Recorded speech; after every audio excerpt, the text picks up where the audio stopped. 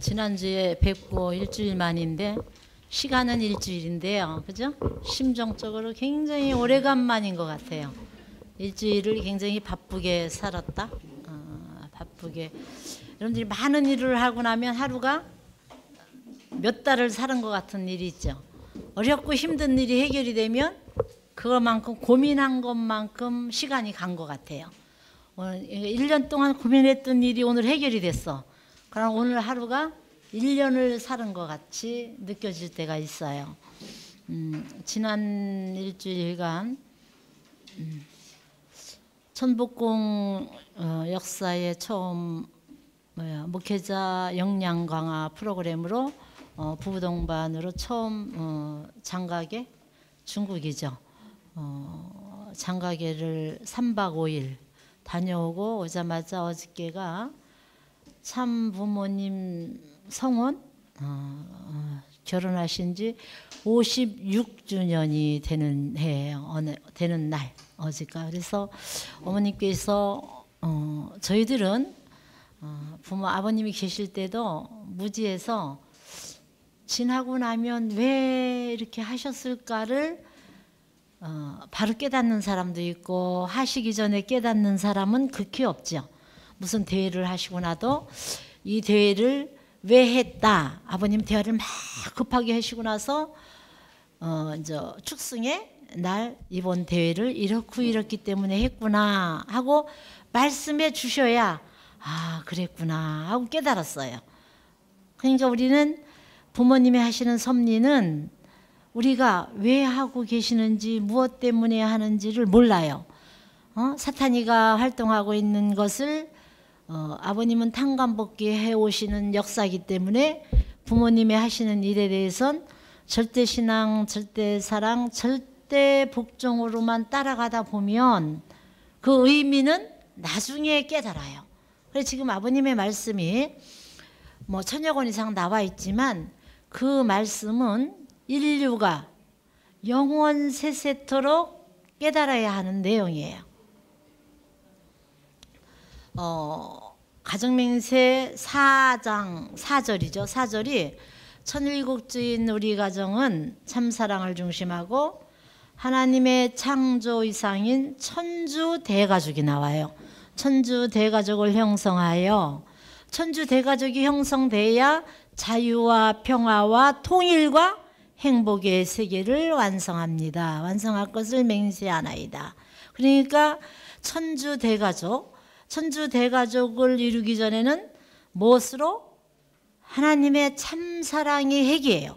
모든 우리 어, 우리가 먹고 자고 오고 가고 일하고 뭐 잠자고 우리의 모든 생활의 일거수일투족이 참 사랑을 빼놓고서는 축복 가정이란 아니고 사람이란 이름을 달 수가 없는 거예요. 그래서 참 사랑을 중심하고 하나님이 원하셨던 이상세계는 천주 대가족을 해야 아 자유롭다, 아 행복하다, 아 평화로워, 참 통일돼서 행복하네 이런 언어를 사용할 수가 있는 거예요. 그러니까 우리는 참다운 자유의 맛, 참다운 행복, 참다운 통일이다 그런 것을 우리는 아직 맛을 못 느낀다고 보시면 돼요. 어렴풋이 아버님의 말씀과 교육을 통해서 이게 행복이 아닐까? 이게 자유로움이 아닐까? 왜? 그동안 6천년 어, 이상 사탄 세계에서 살아온 과거의 그 흔적? 그런 것 때문에 그 핏줄 때문에 참 자유의 맛을 어느 누구도 본 사람이 없어요. 참 행복이라는 얘기는 참 부모님만이 참 자유함을 얻으셨는데 우리는 매일매일 왔다 갔다 하니까 자유라는 말이 아, 몸 마음이 하나 돼서 일체권에 됐을 때 그것도 참 사랑을 중심하고 자유함이 있고 행복이 있고 통일이 있다는 건 알아요. 머리로는. 근데 실질적으로 느끼는 것이 우리 당대에 여러분들이 정성을 많이 들이고 기도 생활을 많이 한 사람일수록 감흥, 감흥? 아버님의 진리와 감흥이 돼서 쉽게 느낄 수 있을 거예요. 이번에 장가기를 갔는데 참 계시적이다 하는 것이 하나가 있었어요. 그 천문 그러니까 그 장가계라는 것은 한 부락이에요. 부락. 우리로 얘기하면 한 700만이 살고 있는 도시예요. 도시에 그 도시가 어 그러니까 중국 대륙의 어 하반부에 중심 내륙지예요. 내륙지. 그러니까 그 내륙지다 보니까 산으로 둘러싸여 있는 옛날 한국으로 얘기하면은 뭐라 그래야 되나? 어, 오지? 오지라는 거 알아요? 오지. 사람들이 사, 많이 가지 않고 살 수 없는 오지라고 보면 돼요, 중국에. 오지인데 장각인데 그게 이제 오지인데 거기가 산이 높고 산이 높으면 물이 고울이 계곡이 깊을 수밖에 없잖아요. 그러니까 산이 높으니까 물이 많아. 그러니까 호수가 많고. 그러니까 계곡이 얼마나 깊은지 하루 종일 걸어도 계곡이야. 근데 그것이 하늘이 어떤 사람은 옛날에 하늘이 닿지 않겠나. 1560m, 1600m 고지예요. 그런데까지 그렇게 높아 산이. 근데 이제 관광을 개발을 해서 돈의 맛을 중국 사람이 느끼잖아요. 그래가지고 그 그런 아슬아슬한 데를 다 다리를 놔서 걸을 수 있게 해놨어요. 그리고 그 아슬아슬한데 그 벽 절벽 있는데다가 다리를 놨는데 그 다리가 어 우리들 육산 빌딩이나 어디 갔을 때 왜 밑에 투명하게 비치는 유리 그라스 다리 그런 게 있잖아요. 그런 걸 다리를 놨으니까 그 다리를 이렇게 쳐다보면 완전 절벽이잖아요. 어.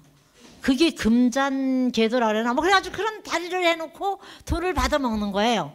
근데 얼마나 투자를 했겠어요. 그리고 그 1600m의 케이블카를 40분을 타고 올라가잖아요. 올라갈 때 그 계곡을 바라보니 얼마나 무서워요. 그러고 올라갈 때또 에리베타? 에리베타는 20초에 그걸 다 내려오게 초고속으로 또 해놨어. 그 꼭대기서. 그러니까 그 절벽을 붙여가지고.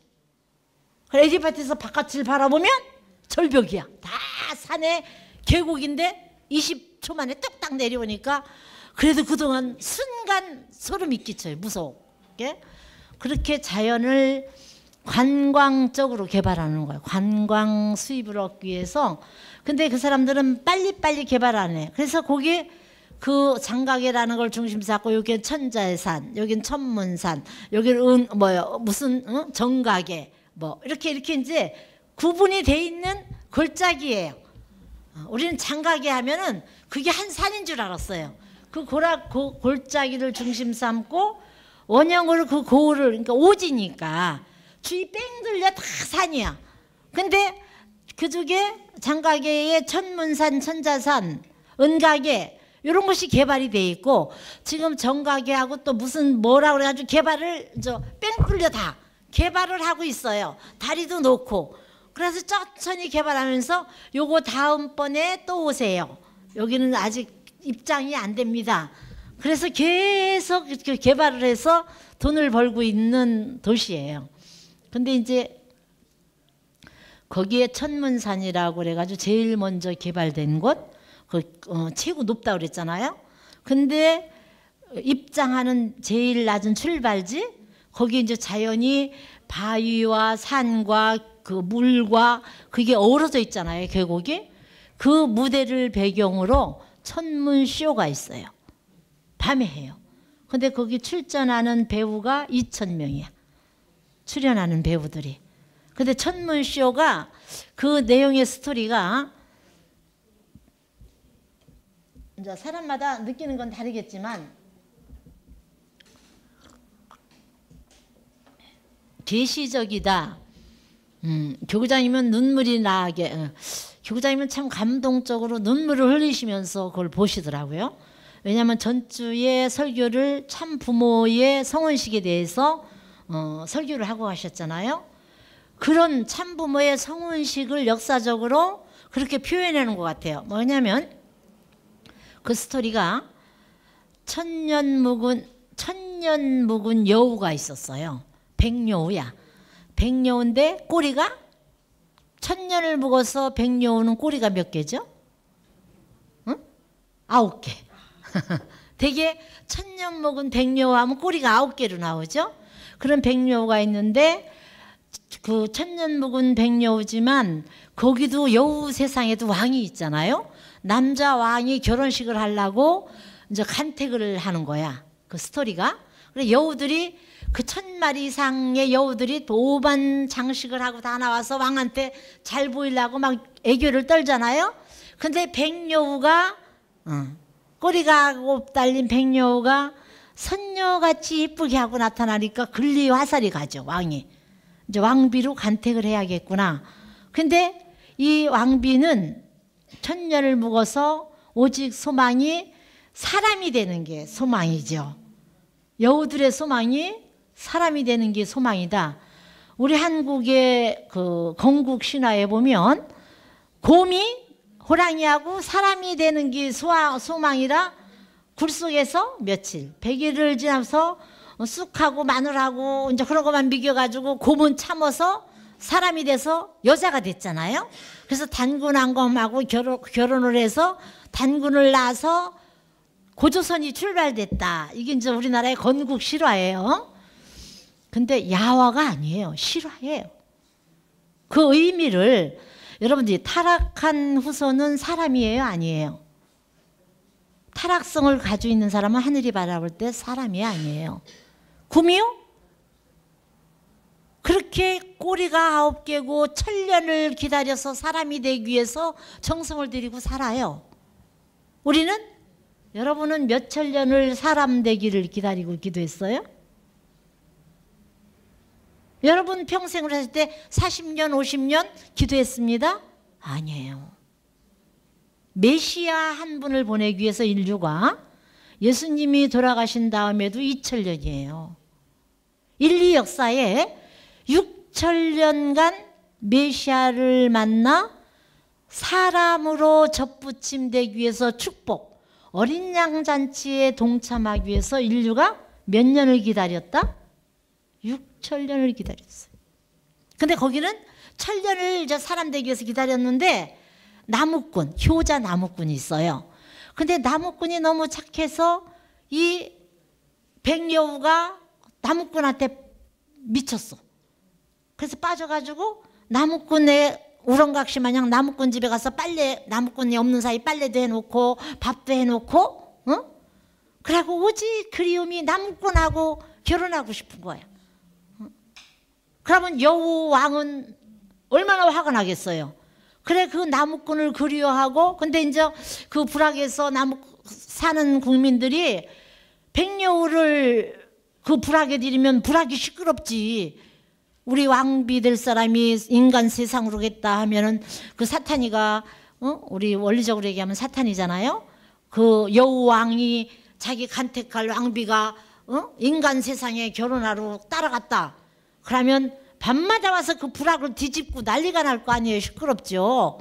그러니까 나무꾼은 너무 예쁜 거야. 마음이 착하고. 어, 가까이 오지 마세요 하세요 하지만 나무꾼은 너무 사랑하고 싶은 거예요. 그렇지만 이 어, 백여우도 호야예요. 이름이 호야. 그러니까 어, 여우호자에 그죠?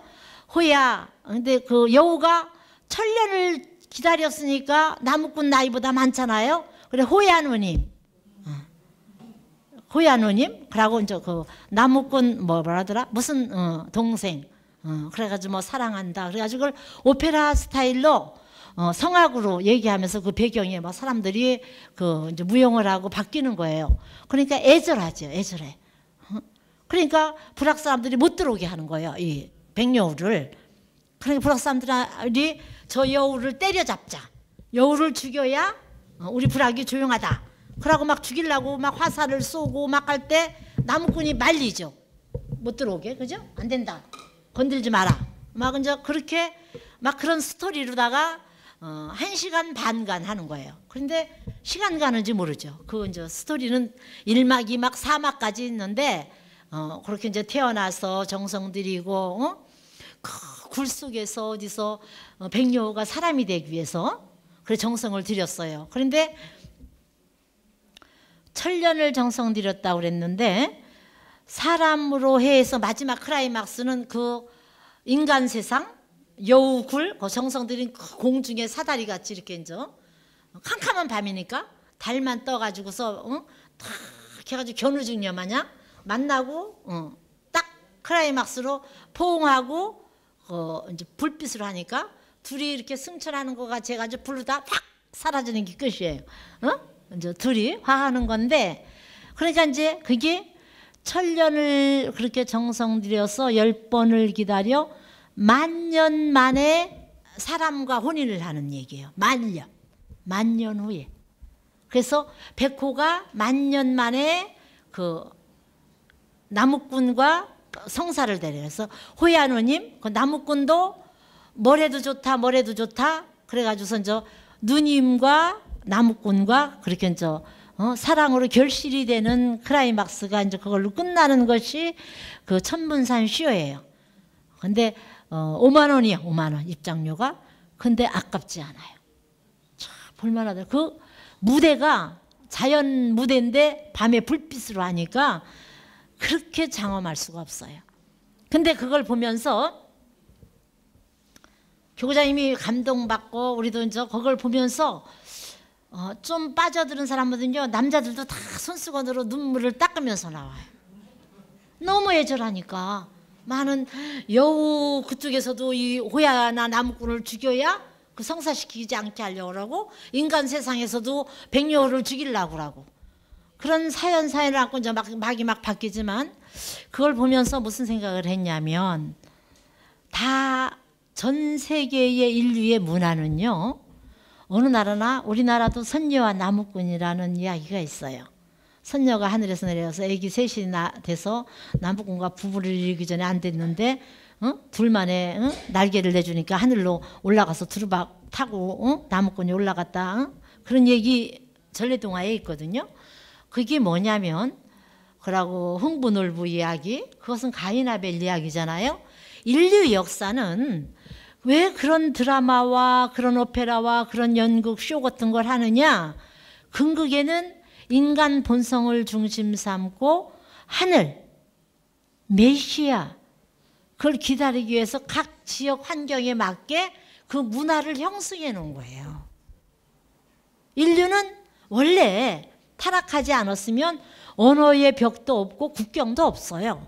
타락함으로 말미암아 어? 세계 복귀의 한 축을 빨리 복귀하려고 언어의 바벨탑을 쌓아 언어를 만들었고 국경을 만든 거예요. 원래 아담 시대에는 바벨탑이 없었죠. 그러니까 그런 하나님이 인간을 찾아 나오는 구원 섭리사를 그 사람들은 이제 세상 사람들은 애절하게 아 만년 묵은 여우와 어, 나무꾼이 결혼했다 그렇게도 볼 수 있지만 하나님이 찾아 나오시는 섭리 우리 원리적인 관점에서 볼 때는 어, 우리는 이제 참 그러고 나서 이제 어저께 참 부부, 부모님의 성원 기념일 그, 그 성원 기념일 어제 갔는데 만년 만에 찾은 어머님 그게 여우라고 표현을 했지만 음? 사실은 우리 인간들은 인간이 되기 위해서 어머님이 우리가 우리가 상식적으로 아버님한테 들었던 것은 성령 성령 진리와 성령으로 준비된 성령 재단에서 조한모 지금 원전에 그 산소가 있으시잖아요. 조한모 할머니와 독, 어? 성녀 같이 홍순호 대모님 하나 만나고 별거를 했어요. 그 정성 드리느냐고. 그러고 홍순호 대모님도 한승원 선생님하고 한학자 어머니 하나만 낳고 한학자 어머니에게 온전히 올인을 하면서 부부 관계를 하나님이 못하게 했어요. 그래서 이렇게 독생녀를 키웠거든요. 그렇게 키워온 3대만 해도 그 100년 세월이에요. 그래서 어머니를 찾아 나왔는데 원 엄격히 얘기하면 태초로 내가면 말년의 역사 속에 그렇게 인간화된 정성으로 찾아오신 것이 그게 독생녀예요. 독생자 나무꾼도 마찬가지죠. 나무꾼의 역사는 예수님이 2000년 어? 아담부터 노아 아브람 뭐 그 상징적인 역사다 하지만 아담이 타락함으로 말미암아 복귀 섭리 역사를 어? 아버님에 의해서 밝혀진 내용을 보면은 어? 예수님이 태어나고 아버님은 2000년. 그럼 인류 역사에 6천년 만에 하늘의 아들 나무꾼으로 비교를 했지만 천자 하늘이 함께 할 수 있는 거기 천문산이에요. 거기에서 쇼를 하는데 그렇게 나타날 수밖에 없는 고대하면서 그 사탄의 모든 그 여우들 사람들이 그 이제 사람이라고 하죠 나무꾼과 관계된 혈족들이 다 반대하고 화를 쏜다 막 그 요술을 부린다 그걸 방해하려고 그런 모든 시련을 극복하고 어머님 아버님이 부부의 연을 맺어서 56주년이 어제예요. 지난주에 교장님이 설교하셨지만 참 부모님의 성혼 기념일을 맞을 수 있다는 건요. 그걸 보면서 말년을 기다렸다 하니까요. 가슴이 맺지는 거예요. 말년 이상을 정성 들여서 어? 호야 누님이 됐는데 말년 이상을 견디려서 참 부모의 날을 우리는 100년 삶도 아니고 50년 60년 그삶 속에서 참 부모의 날 성혼식은 못 받지만 성혼하셔서 참 부모님으로 등극되는 것을 우리가 육신 쓰고 있을 때 뵐 수 있게끔 행운 중에 행운을 받고 우리가 보고 있는 거예요. 모시고 있는 거예요. 그런 생각을 하니까 여러분들이 말년 전에 태어난 보물, 인류 역사에 영원히 변치 않을 보물, 그것이 여러분 앞에 주어졌다. 그 이름이 참 부모예요. 참 부모라는 이름을 찾기 위해서 참 부모님 성원 기념일 참 부모란 이름을 가져오기 위해서 참 부모를 만나기 전까지는 우리는 사람이 아니에요. 부활론에 보죠. 소생 시대에서 소생급 이하에 있는 사람을 보면 사람으로 보여요? 안 보여요. 그래서 불교의 윤회설은 뭐 뱀으로 귀신으로 뭐 이상한 미미한 몽달 귀신으로 뭐 이렇게 이렇게 그래서 동물 중에 개, 개로 환생, 윤회 환생하는 급수를 굉장히 높게 평가해요. 사람으로 성불이 돼서 윤회 환상한다. 그거는 억겁. 여러분 겁이라는 거 알아요? 인터넷에 찾아보세요. 겁이라는 인연. 어떻게 표현이 되어 있나? 수억 만 년의 인연을 지나가도요. 만날 수 없는 것이 사람으로 환생할 수 없는 인연. 그래 타락함으로 말미암아 하나님이 수억만 년 동안 어? 사람을 만들어야 되는데 사람의 형태는 갖췄지만 속은 사람이 아니에요. 우리들이 그런 여우 여우 정도면 양호한 거예요. 왜? 여우는 일부 일처제예요. 응? 늑대, 여우. 그래서 일부 일처제를 했다가 부인이 죽죠. 그러면 자식들 있으면 자식을 남, 그 남편이 먹여 살리다가 응? 애들을 다 키워 출가시키고 남편은요 남편이 부인 죽었던 무덤 옆에 와서 굶어 죽어요. 동물 미물도 그래요. 늑대도. 그래서 늑대 같은 놈. 그 나쁜 말 아니에요. 늑대같이 정조를 시키고 그렇게 부인을 사랑하고 산다? 그거 쉬운 거 아니에요. 지금 세상에 있는 사람들이요. 젊은 사람들이 부인이 죽죠? 그러면 1년도 안 지냈는데 재혼할 거 걱정해요. 재혼하려고 눈이 반짝반짝해진대요. 아들, 딸 있어도 내 인생은 내 인생이다. 동물만도 못한 사람 많아요. 겉은 사람이야. 근데 그 사람이 사람이 아니에요. 왜? 누구를 참 부모로 말미암아 거듭나야 사람이란 언어를 쓸 수가 있는 거예요. 그 호야가 만년 만에 만년 만에 천년을 정성 들여 만년 만에 만난 어? 나무꾼 어? 어? 그 오빠를 얼마나 기다리는지 몰라요. 그냥 다시는 보낼 수 없다. 여우로. 그런 스토리인데 그러니까 어제 참 부모의 날을 56주년이에요. 56주년. 근데 사실 우리의 지금 기준으로는 어, 참 부모의라는 이름을 어, 부르기가 두렵고 크고 두려운 거거든요. 어, 참 부모님 여러분들이 참 부모의 이름으로 내 힘으로 안 될 때 참 부모님의 능력으로 참 부모님의 이름으로 옛날에는 우리 힘으로 기도하기 전에 참 부모님의 성호 받들어 기도합니다 했어요. 그러면 참 부모님의 이름으로 하면요. 막혔던 담이나 막혔던 길이 확확 뚫리는 영적 힘을 받았던 때가 있어요. 그 정도로 참부모 이름으로는 안 통하는 데가 없이 사통팔달 다 통하는 이름이 참부모란 이름이에요. 인류 역사의 만능의 키예요. 그 성원 기념일. 근데 이제 어머님이 56전을 맞기 전에 어, 어저께 가서 들어보니까 어? 어, 며칠 전인지 모르겠어요. 그렇지만은 어, 어머님이 굉장히 고뇌하신 것 같아요. 왜냐하면 우리에게 죄를 사하여 준다, 용서를 한다. 그거는 부모만이 할 수 있는 거예요. 내가 죄짓고 내 스스로 사함을 받을 수 있는 사람이 아닌데 사함을 받을 수 있는 우리는 조건이 아무것도 없어요.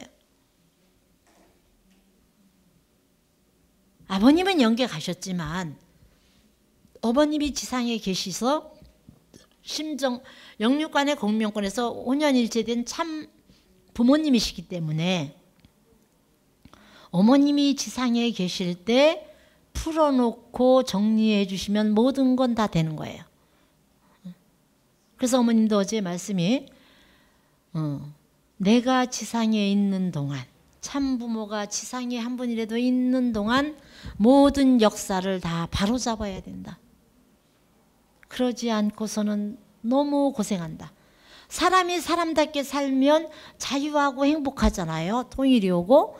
근데 사람이 아니니까 고생하는 거예요.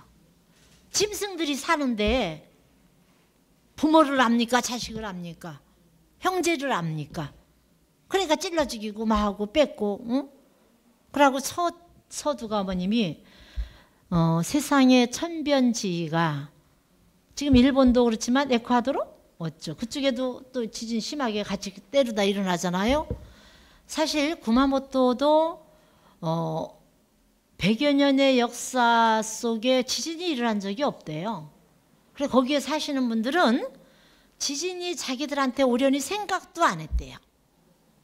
구마모토에는 지진이 없을 줄 알았다고 어, 그 지진이 일어난 현장에서 인터뷰한 그 할아버지나 아저씨들이 인터뷰하면서 막 울더라고요. 여기에는 지진이 이, 일어난 적이 없다고. 거기서 내가 50년을 살았습니다. 60년을 살았는데 한 번도 이런 일이 없었다고. 근데 이게 남 일이 아니고 나한테로 다가왔잖아요.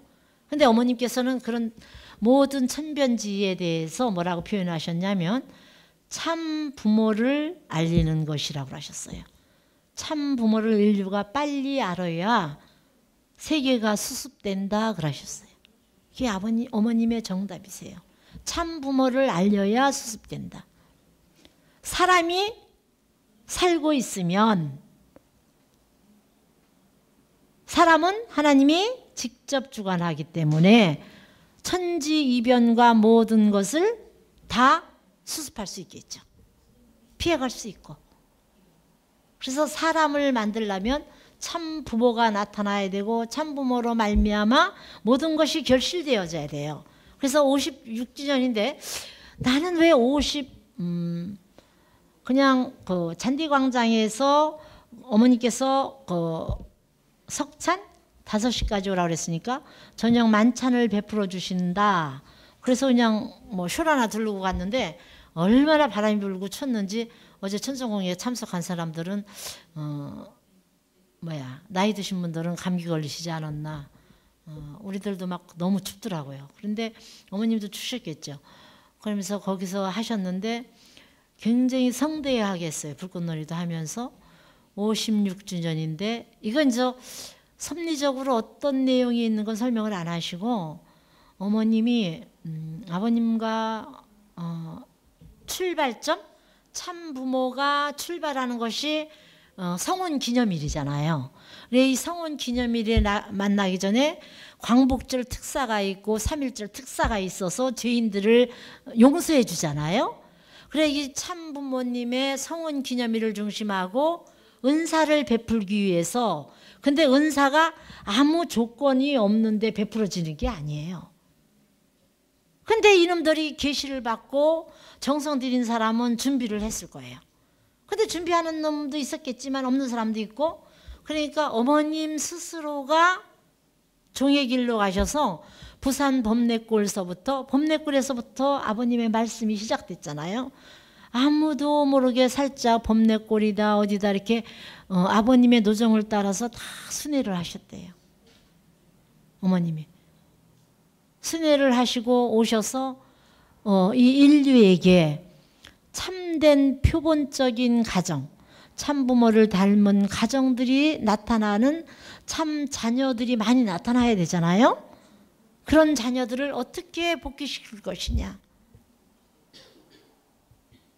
그래서 어머님이 갔다 오셔서 용서해서 복귀시키는 조건으로 어제 대륙회장들을 다 어, 들어오라고 명령을 하셔서 가보니까 대륙회장들이 다 들어왔더라고요. 근데 거기에 성념, 성초, 성주, 그리고 성토 까지 그래서 네 가지를 박스에 담으셔서 다 하사하셨어요.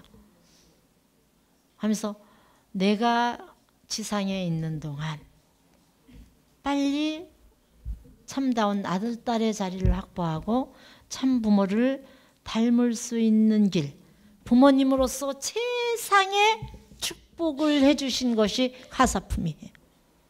이제 그 성주를 어제 각 대륙별로 받았으니까 한국에서도 이제 성주식이 있지 않겠나. 왜? 사실 천일국 성주가 마지막인데 원리적으로 보면 천일국 성주를 먹고 죄를 진 사람은 어떻게 하겠어요? 우리도 왔다 갔다 오만 가지 생각으로 살았잖아요. 그러면 내가 책임을 지고 종족의 민중의 종족의 인민재판 마냥 심판을 받아서 조건을 세우고 가야 된다면 얼마나 힘들겠어요. 어머님의 참부모님의 특권으로 부모님이 고행길을 가셔서 그 네 가지를 분별해서 인류를 살리자고 놓고 기도하시는 장면을 그걸 놓고 기도하신 것을 동영상 찍어서 보여주는데 어머님이 눈물을 팍팍 흘리시면서 기도하시더라고요.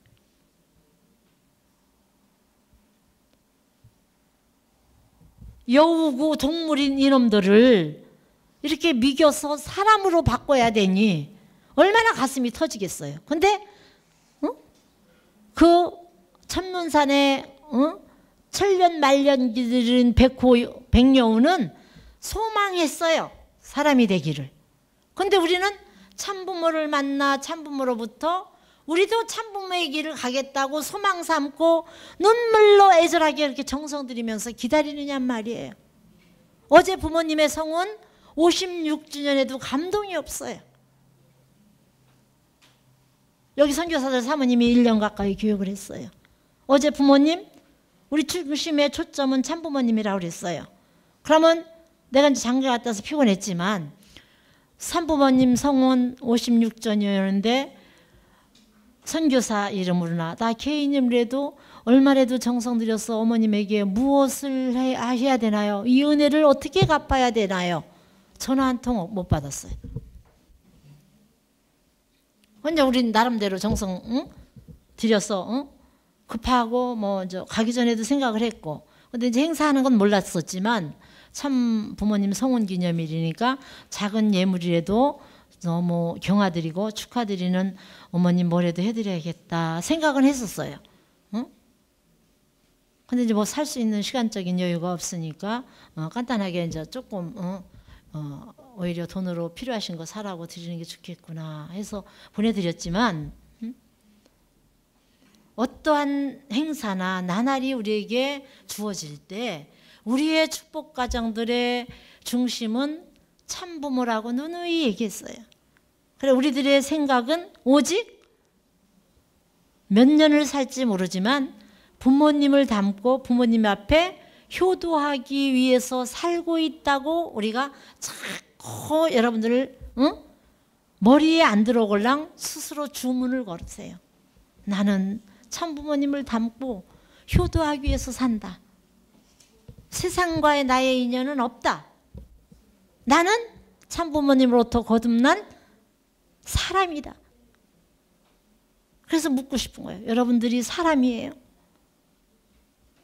하늘이 바라보실 때 참다운 아들, 딸로서 거듭난 모습이에요. 어마어마한 천일국 주인 우리 가정은 아버님께서는 부부간의 불화하고도 가정 맹세를 봉독할 수 없다고 하셨어요. 천일국 주인 우리 가정은 참 사랑을 중심하고 할 때마다 가슴이 아파요. 이것을 이렇게 큰나큰 축복의 말씀을 주셨는데 과연 내가 하루라도 한 순간순간마다 이것을 이탈되지 않고 참사랑을 중심축에 모시, 모시고 거짓 사랑으로 끌려가지 않고 살고 있는가? 이, 지금은 이제 선지국 시대는 너 때문에가 문제가 아니에요. 나 때문에 문제예요. 내가 돼 있느냐가 문제예요. 내가 천육의 주인, 응? 우리 가정에 들어가 있지 내가 참 사랑을 중심한 몸 마음의 통일체로서 서 있느냐. 언제나 그리움이 부모님과 참사랑의 본질은 하나님과 참부모님이니까 참사랑 속에서 부모님이 그립고 어? 하나님이 그립고 그게 언제나 그립고 사무쳐지느냐? 어린아이가 엄마 젖이 그리워서 엄마가 그리워서 하잖아요? 그러면요 교다니지도 못하는 아이들이라도 굴러서라도 엄마 찾아 젖을 먹으러 간대요 실험을 해보면 굴러서라도 본능적으로 그렇게 가는 거예요. 근데 우리는 축복 가정이라는 이름을 축복받은 사람이 인류 역사에 사람이 없었어요. 아담, 노아, 아브라함 다 있었던 것 같으죠? 그저 영육계가 일체권에서 메시아로서 접붙임 받은 자들 아니에요. 선지자로서 소명되었었지만 엄밀히 얘기하면 다 인류 시조가 사람들이었지만 타락성이 많았기 때문에 타락성은 사람이 아니잖아요. 그래서 사람의 본질을 찾기 위해서 여러분들이 몸부림치면서 초점이 그래요. 여러분들이 그래 목마음이 하나 돼서 그렇게 돼야 거기서 행복도 나오는 거고 평화도 나오는 거고 통일도 나오는 거예요. 참 사랑을 중심하고 하나님의 창조 이상인 천주 대가족을 형성하여 이건 어마어마한 말씀이에요. 천주 대가족. 인류는 한 가족이에요. 여러분들 마음속에 난 이번에 가서도 아 중국 놈 이러니까 중국 놈이야. 이 말이 여기까지 올라오는 사건이 많이 있어요. 근데 부모님 생각을 하면서 그 말을 못 했어요. 어떤 상황이 됐을 때, 아, 저러니까 중국 놈이지. 벌써 아는데 거짓말하고 중국 사람들은 계란도 만들어서 거짓 팔았잖아요. 짝퉁은 일, 일인자잖아요. 근데 이제 과자 같은 거는 그거 뭐 원가 같은 게 안 되니까 그런 가짜로 만들지는 않겠죠. 근데 무슨 일이 있었냐면 호텔에서 내가 어, 중국의 유명한 게 엿이에요. 엿. 여러분들이 사오신 게 이게 술엿이라고 그래요. 어. 자기들이 해서 이제 만든 건데 어? 이거는 들딱딱한 거고 진짜 딱딱한 생강엿도 있어요. 근데 그건 이빨에 어, 딱딱하더라고요. 근데 호텔이면 우리들은 믿는 곳이 호텔이죠. 면세점 믿죠. 호텔에서 이 사탕 한 봉지 몇 개 안 들었는데 이거 좀한 거죠. 어. 만 원을 받아요. 50엔? 어. 한국 돈 만 원. 비싸요. 그러니까 안 비싸. 이래요. 어. 아, 한국말을 한국 한국 얘기 많으니까 잘해요. 안 비싸. 어. 이모 안 비싸. 이제 그래서 아 호텔이니까 설마 거짓말을 치랴. 이거는 우리가 살아온 습관대로 인지한 거예요. 그죠? 거기서도 우리는 호텔이다 면세점이다 하면 믿잖아요. 그래서 이제 그래도 한국에 가면 해가지고 내가, 대여섯 봉을 샀어요. 그럼 6, 7만 원이 되잖아요. 그래가지고 사가지고 이제 관광을 다니면서 노점에 가게가 있잖아요. 그랬더니 세 봉에 만 원 또 일하는 거야. 거기는 나는 이미 샀는데 그래서 가서 보니까 봉지는 다르지만 똑같은 거예요. 그래서 이놈들이 장난을 하는 거야. 뭐야? 거기서 휴, 중국 놈들 너무하다. 어떻게 호텔에서 그럴 수가 있나? 어? 속상하죠. 어. 그때 근데 믿는 데서 사고 싶어서 이거는 내 생각이었어요. 어? 사람의 생각일 수도 있고 그 사람들은 아직 이문 이 응? 호텔에 온 사람이 마음 놓고 돈 쓸 줄을 알고 우리보다 하나 더 생각한 것일 수도 있어요. 그러고서 이제 공항에 왔어요. 근데 공항에는 우리가 새벽 1시 비행기예요. 그러니까 잠을 못 자고 오는 거잖아요. 면세점도 몇 개 없죠. 거기에 갔는데 어, 똑같은 사탕이 있죠. 음, 그래서 얼마? 면세점이니까 만 원보단 싸야죠. 만 오천 원. 그러니까 미처 못 산 사람이 면세점에 가서 사지 뭐 이러는 거예요. 왜? 오히려 거기가 믿을 수 있다? 우리 관념적으로 생각한 거잖아요. 근데 거기서 안 사면 살 기회가 없어. 먹을 것도 없고 아무것도 사, 선물할 것도 없는 건데 그거 생각력 하나인데 근데 그래도 이제 딴 데서들 산 사람도 이제 그래서 우리가 오면서 어, 가게를 하나 그 과자 가게를 하나 들려달라 가이드한테 부탁해서 어, 나중에 이제 들려서 왔는데 거기서 산 사람도 있지만 에이 여기서 또못 믿겠다 공항 가서 사자 그런 사람도 있죠 근데 공항 오니까 만 오천 원 그래서 저기선 만 원이었고 저기서는 세 개에 만 원이었는데 왜 차이가 나냐? 어. 그때는 대답 안 해요. 몰라. 왜 모르냐 하니까 안 봤대 이거예요. 그래서 우린 저 우린 가방에다 붙였잖아요. 똑같다. 회사도 똑같다. 그러니까 어, 몰라. 어. 안 비싸. 그거 저 파는 언니가 공항에서 근데 필요하면 내가 사야 되잖아요. 응? 그래서 뭘 하나 공예품이 있는데도 어? 만약에 이런 데서 하면 돈 만 원이면 충분히 살 수 있는 거예요. 근데 사람이 현지에서 사야 되는 것이 있어요. 어. 3만 원, 4만 원, 뭐 조만한 뭐 스카프 하나 해놓고 나서 어, 만 원. 어. 그래서 5천 원 두 개 안 돼? 어, 안 돼. 어. 안 비싸. 그러면 끈다는 거예요. 공, 우리 상식적으로는 공항이 호텔이 더 비싸다는 건 생각도 못 해봤어요. 근데 거기는 통해요. 그러니까 우리가 몰랐던 거죠. 어? 그렇게 비싸요. 그래 그게 다 타락한 문화에서 각자 어떤 스타일로 내가 인식하고 있느냐 대해서 내가 결정해서 평가해 버린 거잖아요.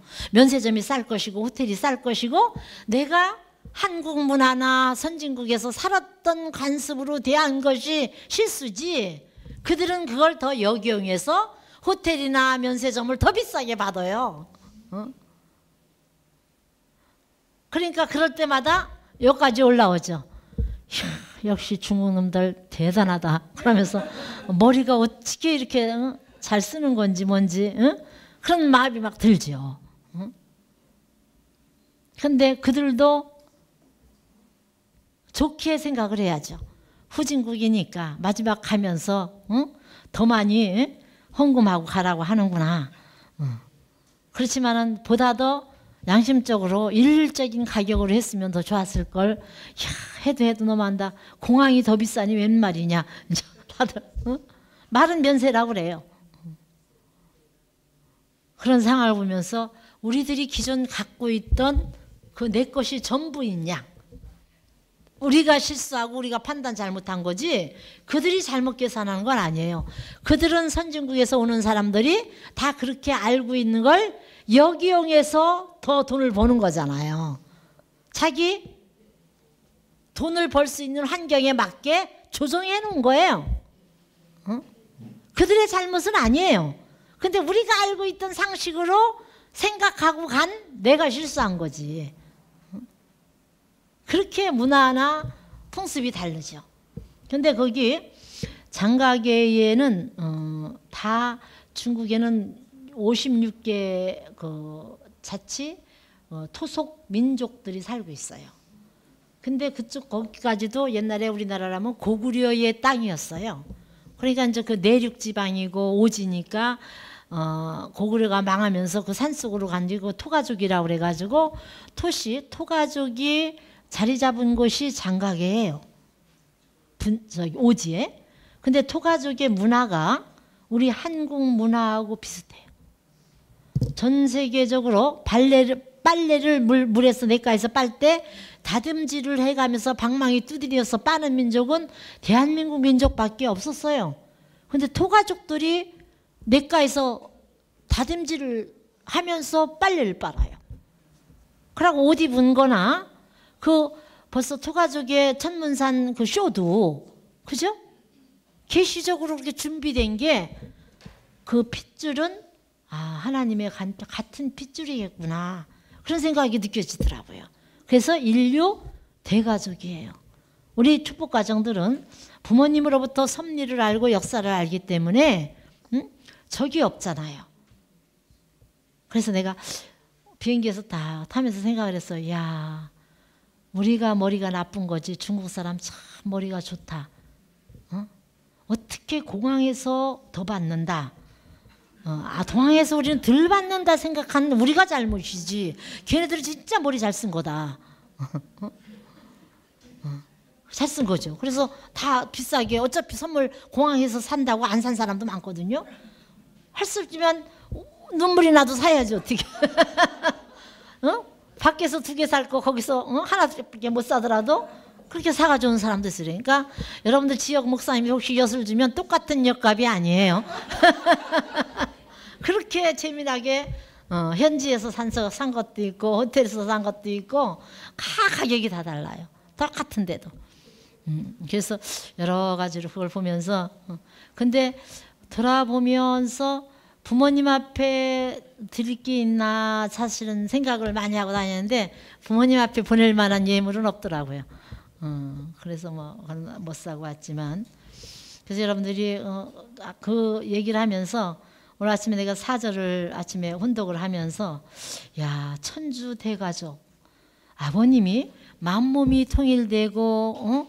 자유와 평화와 행복을 노래할 때는 그런 국경이 없이 형평성이에요. 행복이다. 그건 평면도상에서 나타나는 거거든요. 그러면 국경이 없어지는 거예요. 그 세계를 이룰 때까지 그들에게 즉 가이드에게만 우리가 천복궁 공직자 그래가지고 어디 가서 관광객이 많잖아요. 천복궁 출발합니다. 그러면 막 그런 천복궁 천복궁 하고는 다녀요. 그 사람들이 다 쳐다보죠. 어? 우리 부르는 이름이 천복궁 왜냐면 하도 관광팀이 많으니까 깃발 들고 다니잖아요. 그럼 우리는 천복궁 천복궁 그러고 이제 다니니까 어? PR은 되는데 그래서 그 기독교예요. 뭐예요? 가이드가 묻더라고요. 어. 그랬더니 그분도 아니라고 통일교라고 어, 참부모님 얘기하니까 아버님을 알고 있어요. 뭐 이제 교포들이지만 그네들은 연변이나 어, 흥룡강성애가 우리 조선족들이 우리 애국자들이 그쪽으로 많이 그 임시정부를 세워서 갔던 후손들이잖아요. 어, 그러니까 그래도 그 심정적으로 그래서 이제 한국에 오면 이쪽에 찾아온다지만 언제가 될지 모르죠. 어? 그런 얘기에서 내가 대가족은 큰 가정인데 여러분들이 내 한 가정도 어? 내 한 가정도 이웃 가정에게 내 가정이다 생각하고 사랑하기가 쉽지가 않아요. 세상 참부모를 몰랐던 사람들은 지금 드람 저기 실지 실화가 자기 어머니가 아들을 죽이고 아버지가 자식을 죽이고 막 그래서 구속되잖아요. 그 사람은 사람이라면 못 죽이죠. 동물이니까 죽이는 거거든요. 내 귀찮으니까. 야구, 양육 강식은 내 밥을 빼앗길 것 같으면요 자식도 죽여요. 동물들은 그렇죠? 호랑이나 사자 어? 그런 경우도 자기 음식을 빼앗기거나 자기가 살아 있을 때 위험하면은요 자식을 죽이죠. 자기 혼자 먹으려고. 그러니까 똑같은 현상을 지금 행하고 있잖아요. 그건 사람이 아니죠. 근데 우리가 축복받은 축복 가정이 사람으로서 그 참 사랑을 표현해서 천주 대가족을 이뤄나가는데 핵심적인 우리 가정 자체가 어? 얼마나 베풀고 있는가. 어? 그게 몇 대 만에 가능할까? 그걸 어머님은 굉장히 가슴 아파하고 계셨어요. 여러분들이 내가라도 육신 뜨고 참부모가 지상에 있는 동안 그런 사랑의 실천적인 실적으로 나타내 달라. 그래서 여러분들이 막 전도하고 삼부스 빛이 외치고 거리에서 하잖아요. 그거는 사랑의 표현이라고 하시면 돼요. 진리를 전하는 삼분스 빛을 전하면서 누가 듣던 안 듣던 그렇게 외치고 있을 때 최고 처음에 듣는 것이 조상들이에요. 영인이 먼저 듣죠. 여러분들이 마음이 먼저 들어야 몸이 따라가요. 똑같은 자리에서 어떤 사람은요, 여기 교회 앞에서 여러분들이 전단지를 나눠줘 보세요. 얼마 전에 제가 거기 누가 그 외국 식구가 전 자서전을 줄 때 한 아저씨가 지나가길래 자서전을 어, 그 외국인이 주길래 내가 하나 줘보려고 줬어요. 그랬더니 이 뭐예요? 그래서 내가 아버님 주남을 얘기하면서 어, 이 자서전이니까 한번 읽어보시라고 얘기했더니 이 건물이 뭐예요? 이거 입주하면서 10년 가까이 시티파크 사셨대요. 근데 이게 통일교회인지를 몰라요. 왜? 마음이 관심이 없었으니까. 내가 바쁘게 옆에 두고도 몰라요. 마음의 울림이 와야 있다는 것을 인식해요. 그래서 마음의 울림을 위해서 아버 어머님은 다 외치고 증거하라는 거예요. 어떤 사람은 얘기해요. 그렇게 나가서 3번씩 빛이 외치고 전도했는데 교회 몇 사람 전도됐습니까? 그러면 원인을 찾아가 보세요. 인류가 타락했을 때 나를 하나님이 찾아오셨을 때 어? 그한 달, 1년 전도했다고 전도가 됐어요? 아니에요. 그 백호여우 마냥 천년을 열 번, 만년을 기다려서 사람 되길 소망했어요.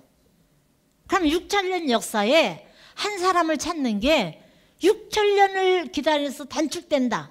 참부모님이 계시는 섭리기간이기 때문에 단축된다 하더라도 불변하는 심정으로 내가 1년을 외쳤을 때 한 사람을 거기서 연계해서 듣고 지나가 다니면서 괜히 관심이 있어서 오는 사람들이 있어요.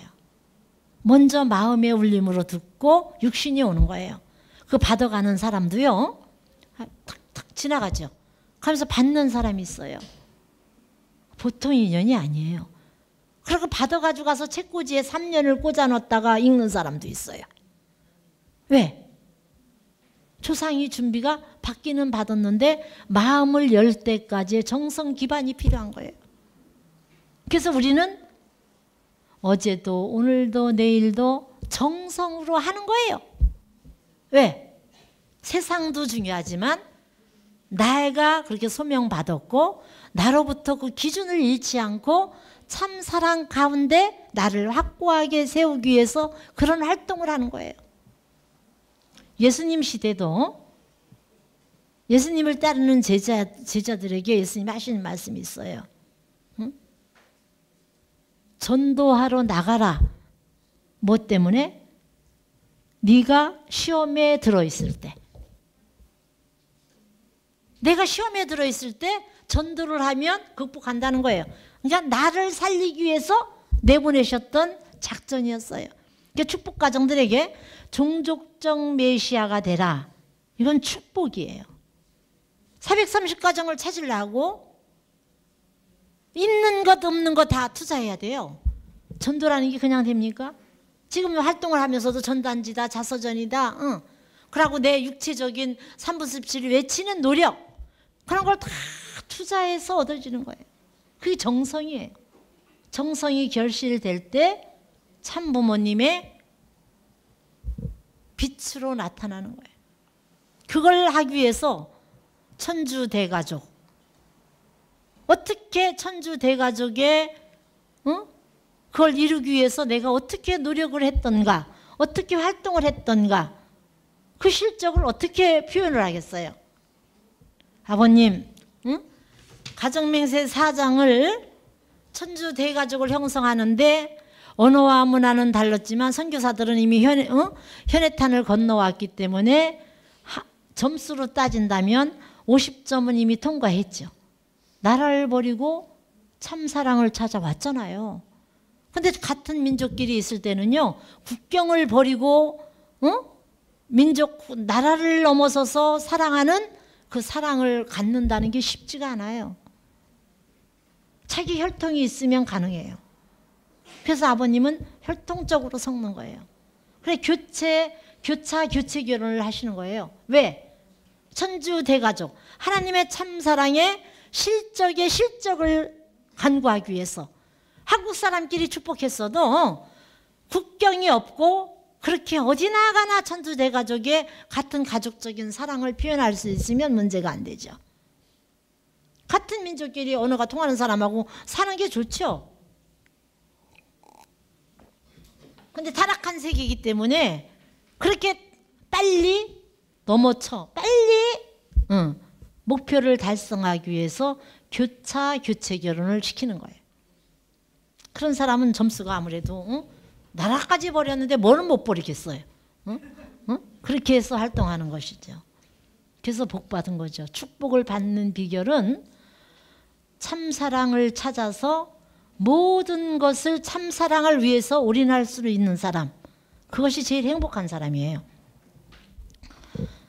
아버님께서는 그 참사랑의 기본 축이야 1절 2절에서 어, 나오죠. 어, 사, 사위 기대를 이루는 거잖아요. 음. 최후에 남아질 것이 무엇이냐? 마지막이에요. 사랑을 중심 삼고 하나님과 인간 관계가 남아진다. 하나님을 중심 삼고 인간과의 불변의 사랑, 이 사랑의 법도는 어느 누구도 변경시킬 수 없습니다. 이거예요.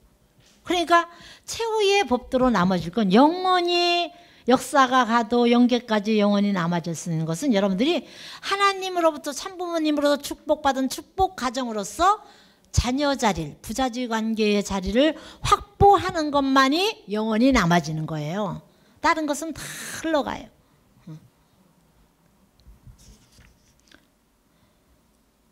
그것은 여러분이 사익이다라는 것을 말하는데 이 중심에 무엇을 가지고 연결시키느냐? 그건 참사랑만이 그 중심에 설정할 수 있다. 참사랑을 떠나서는 천주 대가족이 아니라 나 한 가정 자체도 존재할 수가 없어요. 참사랑의 본체이신 참 부모를 그리지 않고서는 우리 가정이 지탱할 수가 없는 거예요. 그래서 아버님께서는 평화의 세계라는 것은 하나입니다. 통일의 세계도 하나입니다. 왜 하나여야 되느냐? 하나님의 창조 이상, 절대적인 창조주의 창조 이상은 절대적이고 절대적인 것은 하나밖에 없습니다. 둘을 절대적이라고 안 합니다. 영원히 하나뿐입니다. 그래서 하나가 되니까 싸울 일이 없는 거예요. 아버님이 그러면서 여기서 뭐가 나오느냐? 참 사랑의 세계에서는 해결하지 못할 문제가 없습니다. 해결 안 될 게 없어요. 참사랑의 세계는 곧 환희와 이상에 충만한 자유와 평화와 행복의 세계입니다. 참사랑의 동의권, 동참권, 상속권에 의해서 기쁨과 행복이 무한히 그리고 영원히 확산되는 세계가 됩니다. 오늘 세계 인류가 안고 있는 난 문제들을 세계 인류가 안고 있는 여러 가지 문제 지금 천변지 같은 거는 참 사랑의 완성으로서만 근본적인 해결이 가능한 것입니다. 이미 오래전에 아버님이 말씀을 하셨어요. 이렇게 천변지가 많이 일어날 것도 그럴 때 어떻게 해야 인간이 사람이 죽지 않고 사는가. 그 여러분들 일본도 몇 년도에가 되면 얼마만 남고 다 가라앉는다. 아버님은 다 예언하셨어요. 그래서 한국으로 여러분들을 이주시키시면서 이주죠. 교체 결혼을 하면서 여러분들 종족들을 빨리 복귀해서 이주시켜라. 그 헌금을 일본 친정의 헌금들을 다 가져와서 하늘 앞에 봉헌하라. 그런 말씀도 하신 적 있어요. 그 조건으로 한국에 와서 살 수 있다. 뭔 말이죠? 그러면 여러분들이 일본을 팔아 집을 팔아 가지고 한국에다가 헌금하고 남은 돈으로 여러분들이 집을 사서 살고 있잖아요. 그러면 부모들이 올 수 있다는 얘기예요. 근데 이제 나이 든 사람들은 아이고 문화도 다르고 환경도 다른데 지진이 일어나도 여기서 죽지 뭘 가나? 그런 사람도 있겠지만 어? 근본적으로 연계를 생각하면은 지진으로 죽음을 생각하고 있지 않다냐 갑자기. 근데 혼자 죽는 것보단 덜 억울하겠지? 지진에서 갑자기 같이 가니까? 같이 가는 동무가 있으니까? 그렇지만은 그렇게 죽는 건 아니잖아요. 참 사랑을 알고 가야지 그래서 여러분들이 전도 행각에 저 종족들도 책임을 져야 되는 거예요. 그리고 재미있는 것이 아버님의 말씀은 참 일구스로 우리가 천주 대가족 사회가 되면은 공생 공영 공유주의 여러분들이 그 어, 원리강론의 마지막에 이상 세계는 공생 공영 공의주의다 나와요. 그걸 어떻게 생각을 해요? 공생이라는 것은 같이 산다는 거잖아요. 그래 아버님께서는 음, 이상세계, 어, 공생주의, 이 공생주의란 하나님의 참사랑을 토로하여 한 공동 소유를 중심 내용으로 합니다. 공생주의 사회의 기본 전형은 가정입니다. 가정에서는 다 공생하잖아요. 응?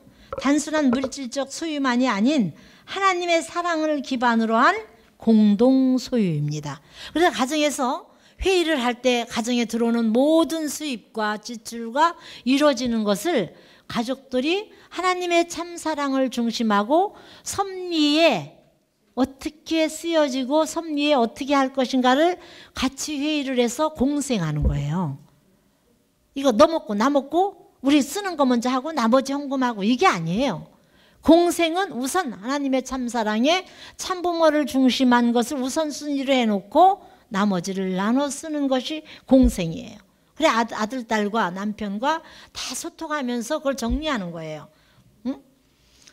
가정에 있어서 모든 재산은 비록 법적으로는 부모의 명으로 되어 있더라도 실질적으로는 부모와 자녀 즉 전 가족의 공동 소유인 것이나 마찬가지입니다. 그와 똑같이 응? 각각 방과 의복, 용돈은 가질 수 있다.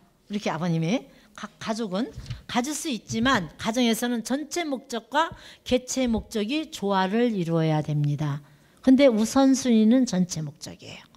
그래서 전체 목적은 개체를 보장하지 않는 목적은 전체 목적이 아니고 개체 목적은 전체를 위하지 않는 것은 개체 목적이 아니에요. 같이 수수작용으로 전체 목적과 개체 목적은 같이 공생한다. 그래서 이것이 나만을 위한 것이다 하면 하면 안 돼요. 아, 가정을 위해서 내가 이게 필요하구나. 그러면 하는 거예요.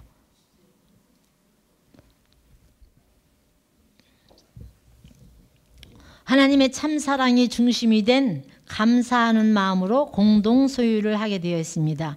하나님의 사랑을 완성한 인간이 이룩하는 이상세계에 있어서는 전체 목적과 개체 목적은 자연스럽게 조화가 됩니다. 인간은 욕망도 있고 사랑의 자율성도 가지고 있기 때문에 개인 소유 개체 목적이 허락되어 있습니다. 전체 목적을 해치는 개체 목적을 추구하지는 않습니다. 스스로의 양심과 본성에 의하여 자기 분수에 맞는 소유량을 취하게 되는 것입니다.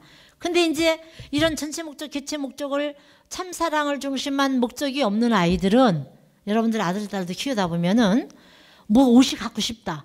엄마 돈 훔쳐다가 사는 놈이 있어. 키우다 보면. 그것이 왜 잘못됐다는 것을 전체 목적과 개체 목적으로 이걸 개체 목적은 응? 전체 목적을 해치는 건 개체 목적이 아니에요. 네 욕망이 사고 싶다 해서 가정에 이렇게 피해를 주고 엄마를 가슴 아프게 해서 산 것은 합당한 옷이 아니다 이거죠. 그런 것은 안 입는 게 낫다. 사고 싶으면 엄마 내가 이런 걸 사고 싶은데 응?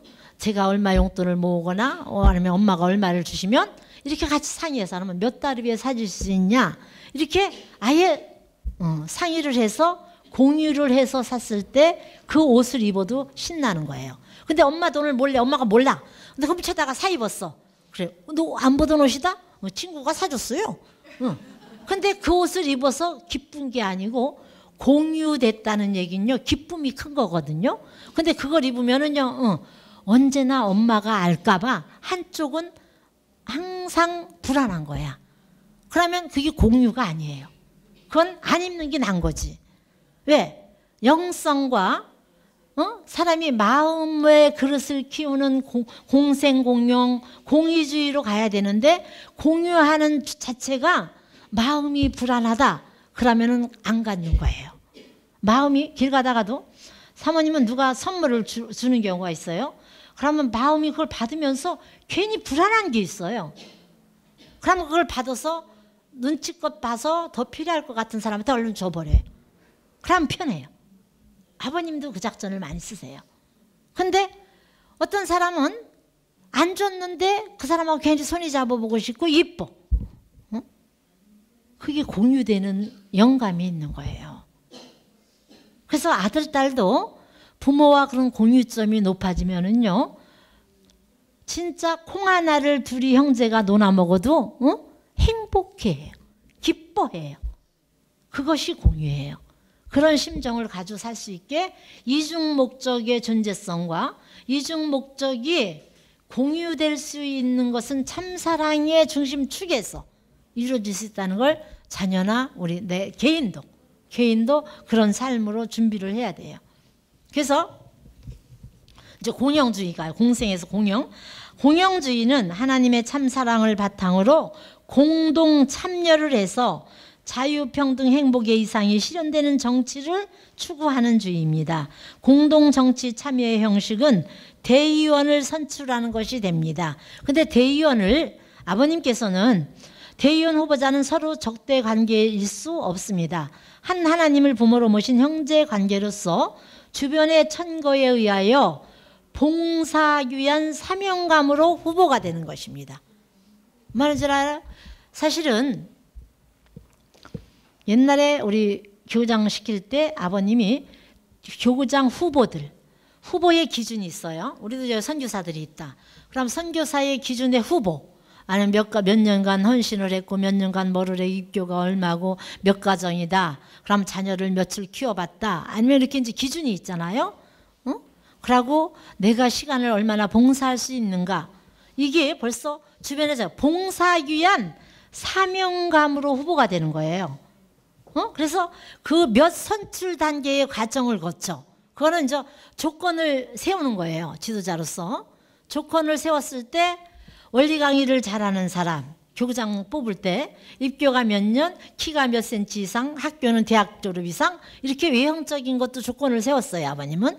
그래 그런 사람을 뽑아서 원리 강의를 시켜서 1등만 몇 명.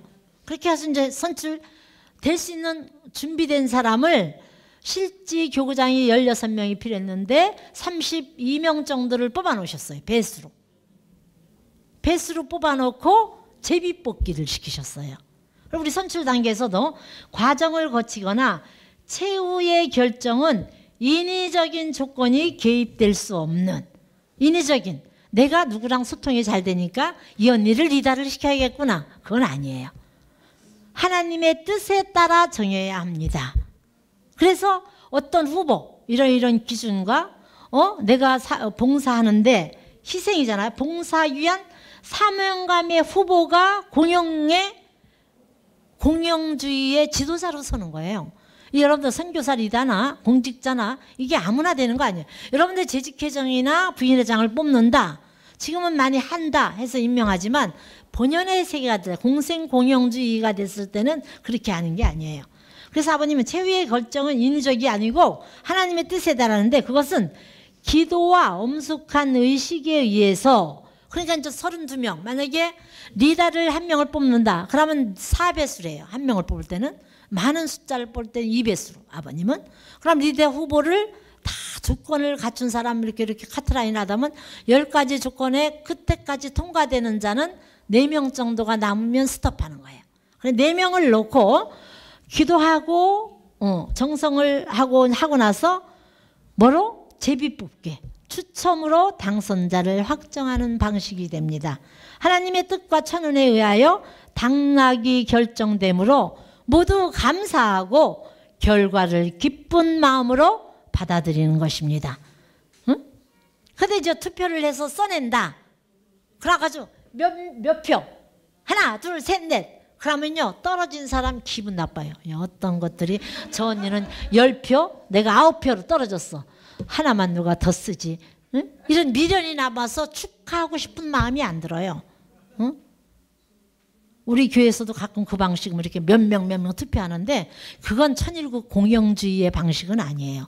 후보를 정해놓고 후보 이름을 네 사람 1, 2, 3, 4 했죠. 그러면 1, 2, 3, 4 번호를 하지 말고 공 하나만 해놓고 갈, 갈표 세 개를 해놓고 뺑뺑 돌려서 제비 뽑기를 시켜. 그럼 공을 뽑은 사람이 리더가 되는 거예요. 그러면 하나님이 천운에 의해서 됐으니까 안 뽑힌 나도 어떤 사람 원망하지 않고 아유 복이 나한테는 안 오네. 응. 그러고 축복해 줄 수 있는 거예요. 아버님은 국회의원 선거도요. 지금 여당 야당 돈 많이 쓰거든요. 용산구를 사랑하는 후보 지금 세명 후보가 경쟁이 붙는다. 그러면 세 사람이 카트 라인을 조건을 이러 이러 이런 기준을 갖춘 사람. 그래서 세 사람이 남잖아요.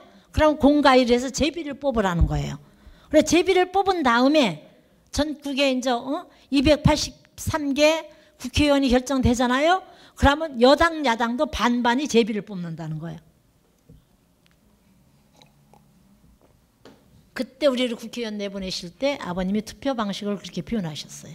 채우는 하늘이. 그러면요. 자기가 제비를 뽑았기 때문에 누구 원망하지 않아요. 그러고 기도하고 정성 들이고 같이 갖춰서 한 거니까. 그러면 내가 갈표를 뽑았어도 축하해 줘요. 하나님이 이번에는 언니가 어떤 마음? 봉사하기 위한 사명감으로 리더가 되는 거예요. 봉사한다는 얘기는 딴 사람보다 10분을 먼저 오든 1시간을 먼저 오든 더 먼 일찍 오고 늦게 가는 거잖아요. 그러면서 다 봉사하고 살펴야 되잖아요. 그러니까 언니가 더 봉사라고 하나님이 함께하는 것 같아. 아니 그 이번 어? 국회의원님이 더 열심히 하시라고 이번에는 하늘이 어? 의원님 편을 들어주셨네요. 이렇게 하면 싸움이 없다는 거예요. 그러면은 그 선거 비용도 많이 안 들고 그렇게 해서 투표를 해서 리다는 봉사의 사명감에 불타는 사람 어떤 기준을 해가지고 기준으로 해서 제비뽑기로 결정한다. 그게 공영주의예요. 공영. 공생은 같이 살면서 어, 공감이 되고 공영 나왔죠. 공의. 공의주의는 참사랑을 중심한 보편적인 윤리 도덕을 지키며 구성원 모두가 선과 의의 생활을 추구하는 주의를 말합니다.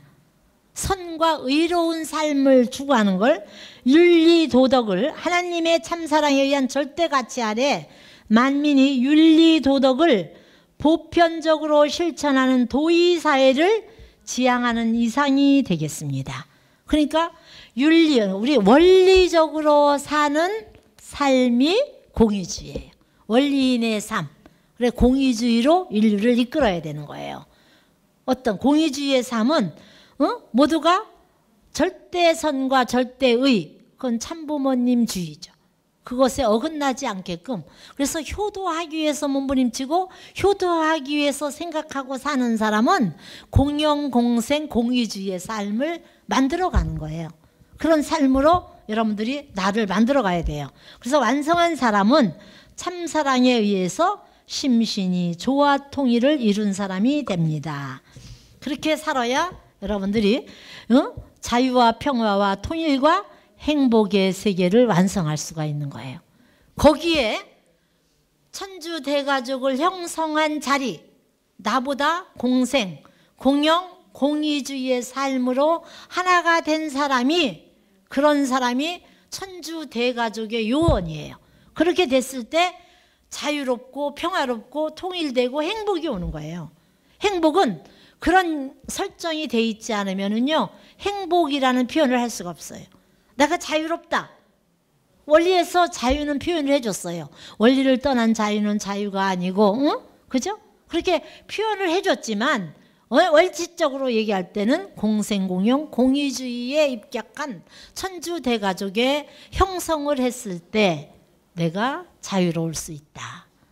참 아버님 멋져요.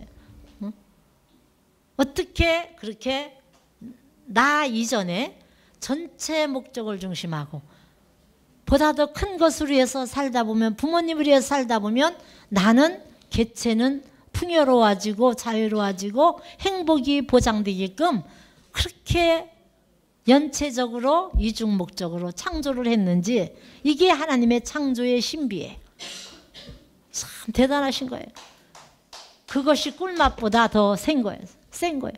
어떻게 이렇게 만드셨을까? 빠져나갈 수 없게끔. 그 틀을 벗어나면 내일을 벗어나면 죽는 거예요. 사망밖에 없어. 그건 사람이 갈 길이 아니에요. 참 멋진 거예요. 그래서 4대 심정권이라는 그 본질도요. 4대 심정권은 받는 게 아니에요. 그죠? 형제 사랑, 4대 심정권에 부부 사랑, 자녀 사랑, 부모 사랑이잖아요. 그 본질은 먼저 내보내는 거예요. 그래서 수수작용은 줄 숫자부터예요. 내보내는 것이 4대 심정권에 들어가는 거예요. 받는 것은 4대 심정권이 아니에요. 내보내는 거예요. 내보냈을 때 채워주는 것은 여러분들이 어떤 사람이 그래요. 저는 열심히 헌금을 했는데요. 언제 우리 집안의 경제가 풀릴까요? 사모님한테 상담해 오는 사람이 있어요. 어? 언제 풀리느냐고. 제가 헌금도 11조도 열심히 하고 특별 헌금도 열심히 하고 탕감 헌금도 했는데 왜 집안이 이렇게 계속 꼬이고 안 풀리는지 모르겠다고. 응? 헌금을 그만할까요? 뭐 고민하는 사람도 있는 것 같아. 응. 생이 다하는 날까지 해서 풀린다면 행운이에요. 말년을 기다려서 사람이 됐어요. 응? 우리 사는 평생 60평생에 많이 살아도 100살도 못 사는데 내가 뜻을 중심하고 살았던 삶이 아버님께서는 입교 40년 됐을 때 강현실 순회사님에게 하신 말씀이에요. 응? 입교 40년 동안 그 강현실 순회사님이 아버님만 바라보고 한 번도 심정이 다운된 적이 없대요. 언제나 은혜에 차서 행복했대요. 그렇게 한 번도 배반하거나 의심해 보지 않고 불변하는 심정으로 40년을 지났을 때 하나님이 이제 믿을만 할까 한다. 그러고서 강현실 스님한테 얘기했어요.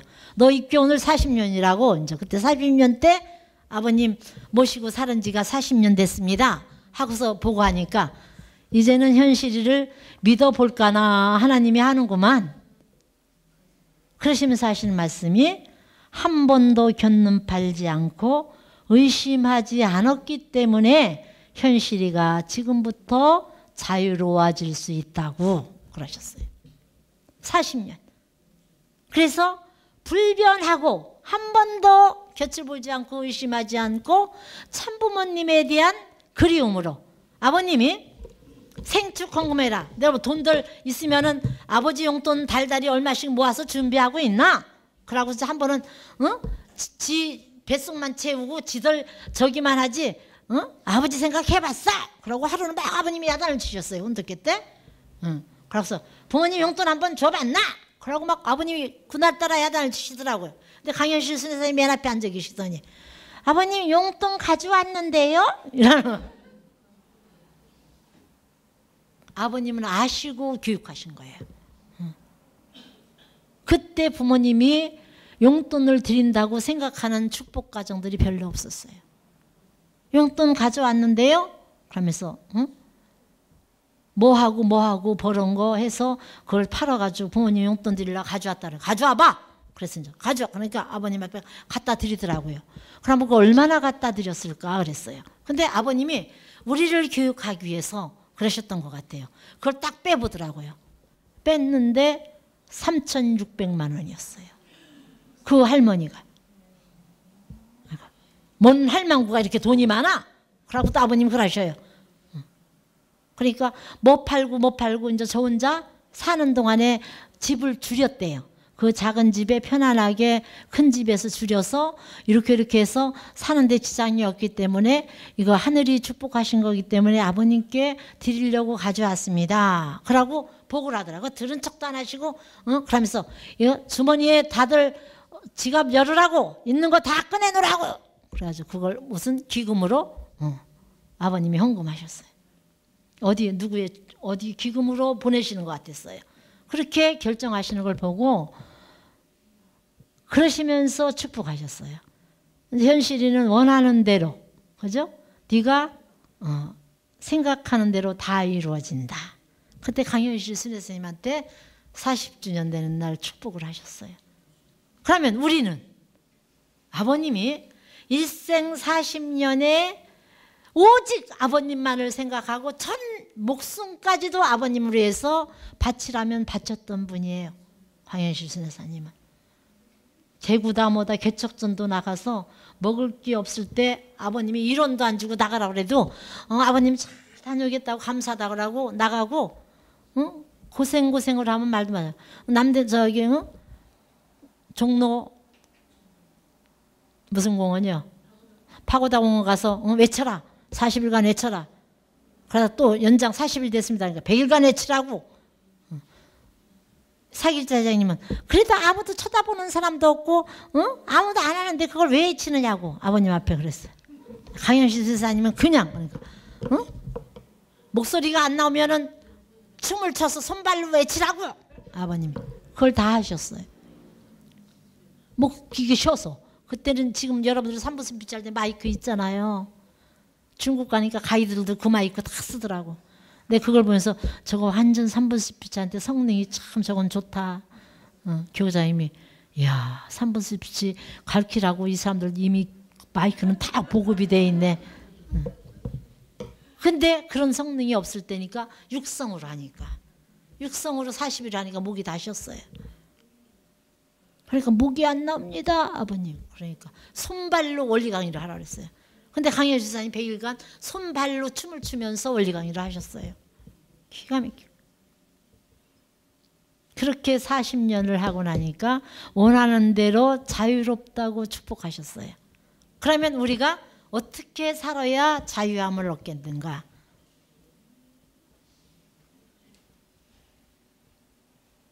부모님도 항상 말씀하시잖아요. 그래서 저는 항상 기준이 내 생이 다하는 날까지 변심하지 않고 불변하고 부모님만을 바라보고 편치 않게 해주시옵소서. 크게 기도해요. 생이 다하는 날까지 변치 않고 부모님만을 바라보고 갈 수 있게 해주세요.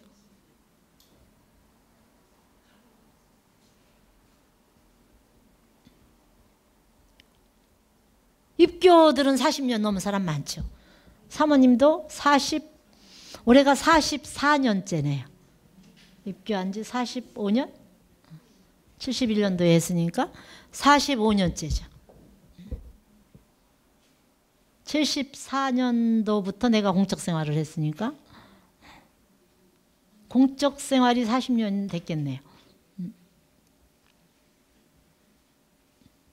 그런데 공적 길을 간다 하면서도 나를 중심하고 계산할 때가 너무 많았어요.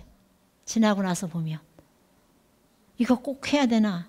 아버님은 감당 못할 명령을 하실 때도 있죠.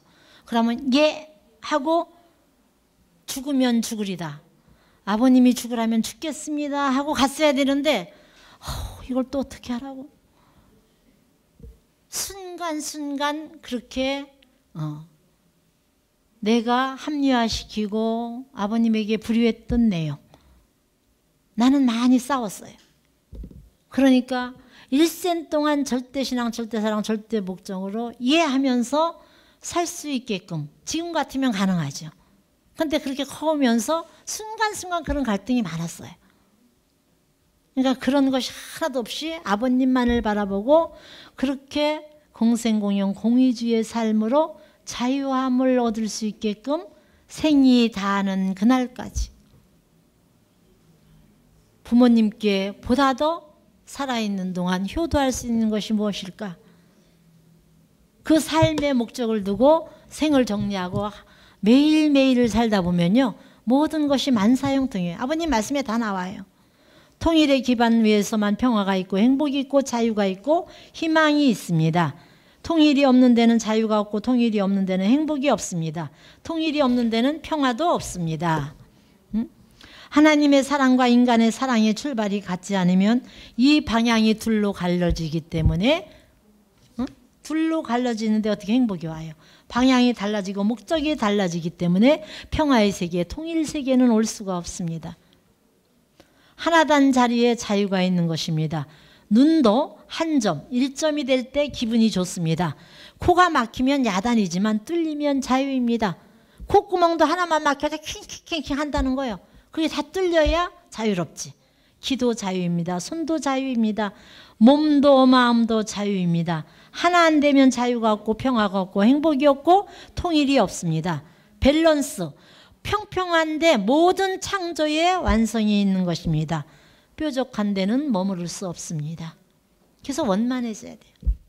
그래서 공생, 공영, 공의주의의 삶으로 살기 위해서 우리가 그래서 기도하고 정성 들이면서 전도 활동을 하는 거예요. 내 마음의 수평이 흔들리지 않게 하기 위해서.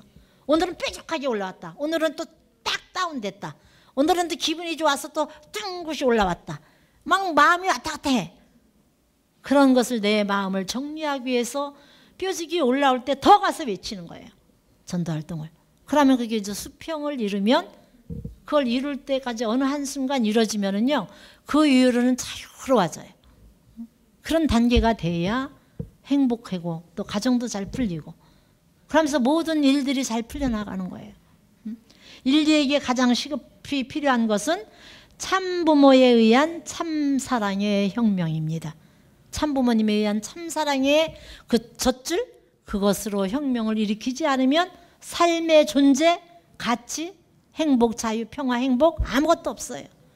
참사랑에 의한 참부모님의 참사랑에 의한 혁명만이 우리가 살 길이다. 음? 그래서 축복 가정들에게 어머님께서 어제 참 부모의 날, 그 참 부모님의 성원식으로 말미암아 새 역사가 시작됐다. 기가 막힌 역사예요. 그래 어저께 왜 성대하게 하셨을까?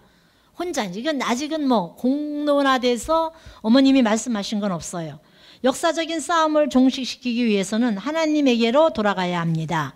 역사적인 싸움을 종식이 하나님에게 돌아가는데 그것을 한, 먼저 하나님을 중심으로 개인의 마음과 몸이 하나 되어야 합니다. 그리고 참된 남자와 참된 여자가 하나님을 중심으로 참가정을 이rum으로써 그 안에 하나님을 다시 모시게 되는 것입니다. 참사랑을 중심으로 한 참가정이야말로 하나님이 거하실 지상기지가 되는 것입니다. 거기에서 참된 평화세계가 출발되는 것입니다. 이로써 참된 자유와 행복의 세계가 열리는 것입니다. 모든 것이 참부모로 말미암아예요. 그래서 이제 어저께 그 춥지만 거기서 앉아 있으면서 생각을 했어요. 56회 여러분들이 불교에서는 지상 생활을 정리할 때 49제예요. 우리는 3호제로부터 40일이기 때문에 숫자로 얘기하면 49일이나 마찬가지예요. 우리들도. 성, 흥지님이 승화하셨을 때 5일장을 했어요. 5일장을 하고 이틀 후에가 사무제잖아요. 그러면 7일이죠. 그날로부터 40일을 어머 부모님이 정성들이라고 하셨어요. 그러니까 정확하게 불교의 숫자하고 비슷해요. 그러니까 7일을 7번. 77 49잖아요. 그래서 49제를 통과해야 영계에 들어간다 이렇게 보죠. 불교에서도. 근데 아버님도 어, 영계에 들어가는 숫자를 아버님은 열두 진주문이라고 표현을 하셨어요. 열두 진주문을 통과할 때 한 단계 한 단계가 몇 단계를 통과할까? 근데 통과하는 한 단계를 7일로 되게 봐요. 인간 창조 안식수도 7일로 보듯이. 근데 어저께 56회다 하면 7, 8에 56. 7, 9, 63이 돼야 되겠지만 7, 8에 56. 어, 7번씩 8번 제출받는 56회의 참 부모님의 성운 기념일이기 때문에 완성 기준에 제출발을 노려서 어머님이 특사를 베푸시는 조건이 성립될 수도 있겠구나. 이건 사모님 생각이지만 그래서 특별히 더 인류 역사의 천일국 귀원절 성주로서 새로운 성주로 속죄의 길의 은사를 베풀 수 없어요. 원리적으로는. 근데 어머님이 참 부모의 날, 저 부모님의 성원식을 56회를 맞이하면서 그 섭리적인 숫자와 어머님의 정성의 조건으로 새롭게 성주와 성념과 성초와 성토 그런 것을 하사하실 수 있지 않았겠나. 이제 이건 사모님 생각이지만 그래서 그렇게 눈물로 하늘 앞에 간곡히 부탁하셔서 정성을 들이시면서 그걸 주고 싶다고 마음대로 주는 게 아니잖아요. 역사의 축인데 그렇게 해서 은사를 엄청 큰 은사죠. 가까이는 참 자녀에게 멀리는 전 축복가정 전 인류에게 어머님 기도 속에 참 자녀까지도 나와요. 그리고 다 그 새로운 성주로 말미암아 다 하나 될 수 있는 기점으로 통일권으로 하늘이 축복해서 끌어가지 않겠나. 그래서 어마어마한 축복이다. 그리고 어저께 참 부모님 성원 56주년일 맞았다는 그래서 전 세계 식구들에게 다 생중계했어요. 거기 참석 못한 사람들도 다 볼 수 있게끔 그런 축복을 어머님은 정성 들이면서 베풀어 주시는 그 은혜를 생각할 때 가정맹세 사절 우리가 천주 대가족을 형성해서 자유로운 사람 그건 참 부모님으로 말미암아 참 부모님 엄격히 더 들어가면 참 부모님의 성원으로 말미암아 참 부모님 성원은 억년 만년 수억 년을 정성 들여서 하나님이 창조해 놓은 거예요.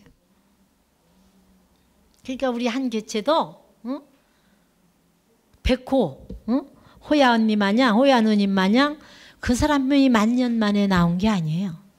여러분 한 개체 개체도 만년 이상 정성 들여서 축복 가정에 사람으로 접붙임돼서 이 자리에 있다는 것을 생각할 때 우리는 감사할 것밖에 없어요. 감사하고 감사하고 감사해도 보답할 길이 없어요. 그래서 언제나 초점은 부모님을 그리워하고 참어머님만이라도 지상에 계시는 동안 효도할 수 있는 기회가 있다면 효도하기 위해서 노력해야 돼요. 항상 계시는 거 아니에요. 지금 여러분들 아버님 앞에 응? 양말 한 컬이라도 사다 드리고 싶어도 못 하잖아요. 아버님 지상에 안 계시는데. 응? 성화 3주기 지날 때까지는 저는 어머님 선물을 사면 아버님 넥타이든 양말이든 같이 사서 선물을 드렸어요. 성화 3주기까지는.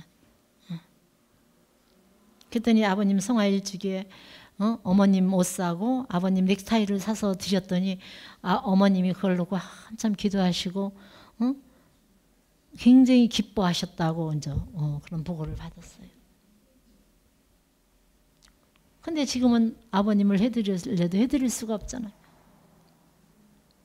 효라는 건 살아 계실 때 살아가실 때 그런 팻말을 여러분들이 꽂지 않으면 응?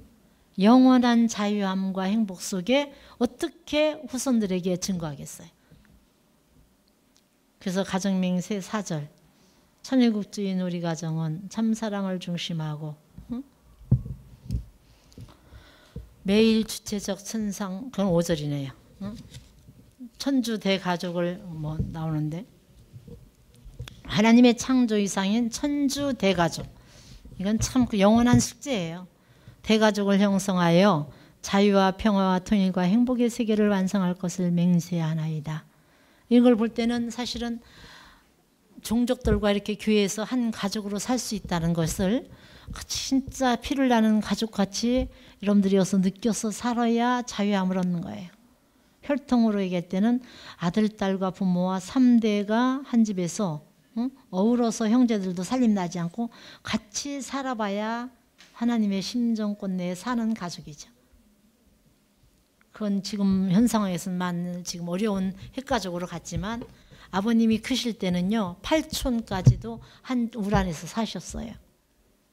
문영현 장로님이 육촌 동생인가? 근데 한 집에서 살았어요. 작은 어머니, 큰 어머니 하면서 그런 심정권으로 축복받는 여러분이 되시고 내일 주일 벌써 이제 53주에서 4월 벌써 마지막 주예요. 벌써 갔어요 4월이. 어? 기가 막히게 눈 깜짝새 지나가는 것 같아요. 어? 섭리적으로 시간이 바쁜 것 같아요. 음, 그런 바쁜 찰나찰나를 흘리지 마시고 잘 엮어서 빨리 이상적인 가정 맹세를 이루는 개인과 가정을 만들고 응? 그 천주대 가족 형성해서 자유로운 모습이 되기 위해서 노력하는 여러분이 되시길 바라겠습니다. 기도하겠습니다. 고맙고 감사하신 하늘 부모님, 천지인 참 부모님, 무한한 하늘의 축복은 어떤 기회와 어떤 역경이 따른다 하더라도 그 고통을 감내하셔서 인류에게 축복해 주고 싶으셨던 참 부모님의 삶을 어제 참 부모님 성원 56도를 맞이하면서 저희들은 새로운 은혜를 입었습니다.